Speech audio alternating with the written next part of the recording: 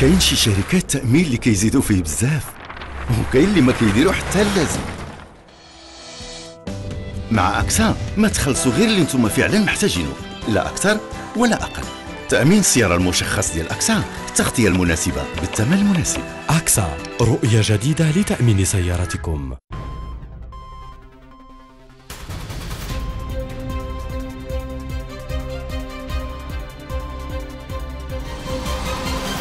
أسعد الله أوقاتكم بكل خير مشاهدينا الأفاضل وأهلا بكم ضمن النشرة الاقتصادية. بداية انتخب المغرب مجددا نائبا لرئيس اللجنة المديرية لمركز التنمية التابع لمنظمة التعاون والتنمية الاقتصادية. بلغوا لسفارة المغرب بفرنسا أوضح أن اللجنة تضم إلى جانب المغرب كلا من جنوب إفريقيا وكوريا الجنوبية وإندونيسيا والمكسيك والنرويج والبيرو والمملكة المتحدة وتركيا مضيفا أن إعادة انتخاب بالمغرب تعد اعترافا بالتقدم الذي أحرزه واهتمام هذه المنظمة بإقامة شراكة وتعاون مع المملكة.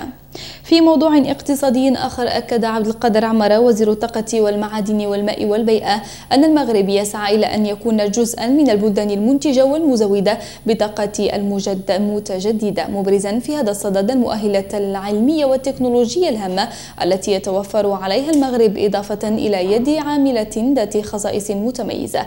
الوزير أوضح أن المغرب يرمي من خلال ولوجه لمجال الطاقة المتجددة إلى أن يصبح جزءا من البلدان المنتجة المنتجة لهذه الطاقات وتكنولوجيتها مؤكدا في الوقت ذاته على ضرورة هيكلة هذا السوق أكثر وذلك من أجل تقديم رؤية واضحة للمقاولات المغربية.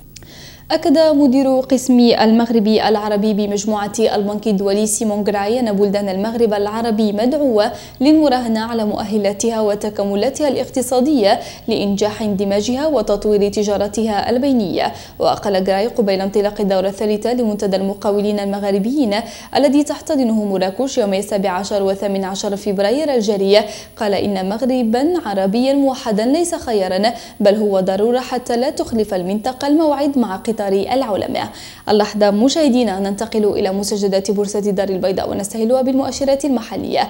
أغلقت بورصة دار البيضاء جلسة الاثنين على وقع الانخفاض وذلك بالنسبة للمؤشرين الرئيسيين مادكس ومازي. مؤشر مادكس أغلق الجلسة على ناقص 0.35% بمجموع 7178.18 نقطة. ومؤشر مازي أنهى الجلسة بناقص 0.30% أي 9205.38 نقطة. بالنسبة لأسهم الشركات المدرجة بالبورصة في أقوى الارتفاعات نجد سهم اسم مونيتيك. حل أولا بتسجيله زيادة نسبتها ناقص 5.84% ليرتفع سعر سهم إلى 189 درهم. في المركز الثاني حل سامسون سيد والتي تحسن بما نسبته 3.74% لينتعش سعر سهم ب 1110 دراهم. وفي المقابل تصدر سهم Rebab Company قائمة أقوى الانخفاضات بخسائر بلغت نسبتها ناقص 6% ليتراجع سعر سهم إلى 178 درهم.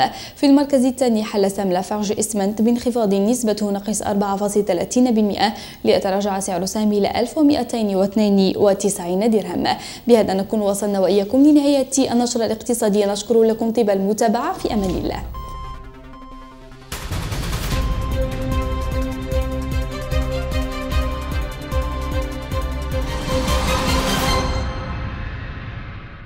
كاين شي شركات تأمين اللي كيزيدوا فيه بزاف وكاين اللي ما كيديروا حتى اللازم. مع أكسا ما تخلصوا غير اللي نتوما فعلا محتاجينه لا أكثر ولا أقل. تأمين السيارة المشخص ديال أكسا التغطية المناسبة بالثمن المناسب. أكسا رؤية جديدة لتأمين سيارتكم.